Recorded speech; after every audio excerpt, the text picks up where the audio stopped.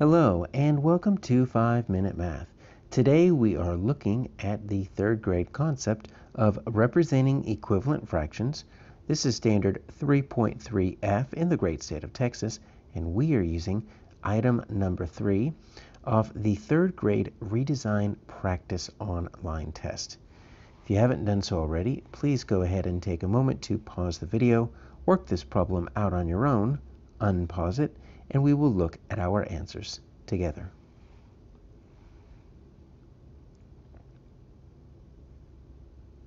All right, so this is a brand new item type. So this is actually called a hotspot.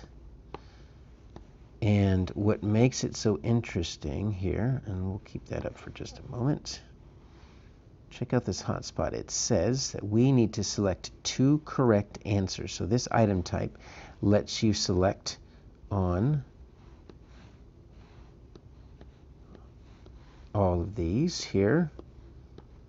And here's here's a few things to notice. This is worth two points.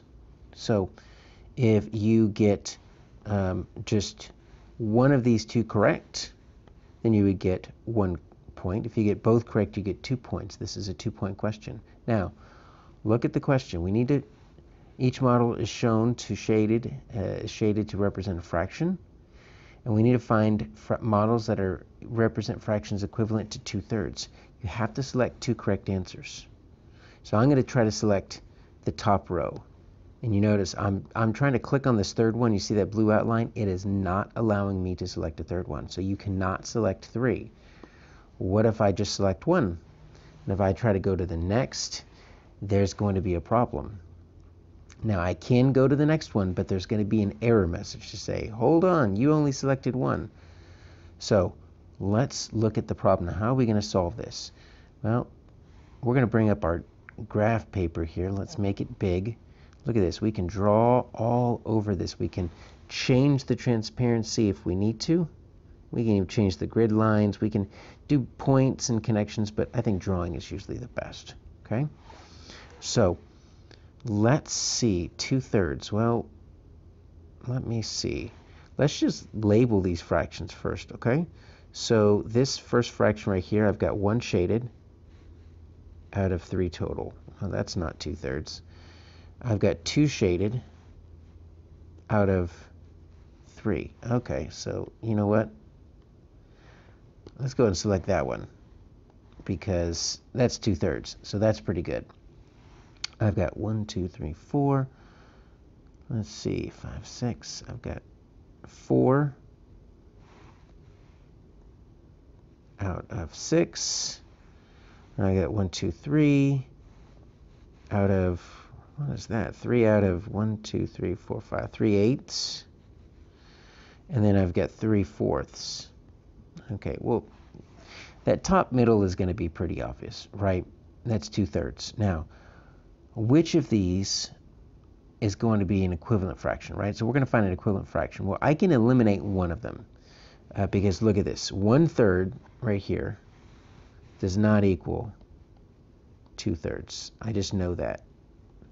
So one third, this is two thirds right here, which means this one is definitely not it. So one of these other ones, 4, 6, 3 eighths, and 3 fourths, is going to be equivalent to two thirds.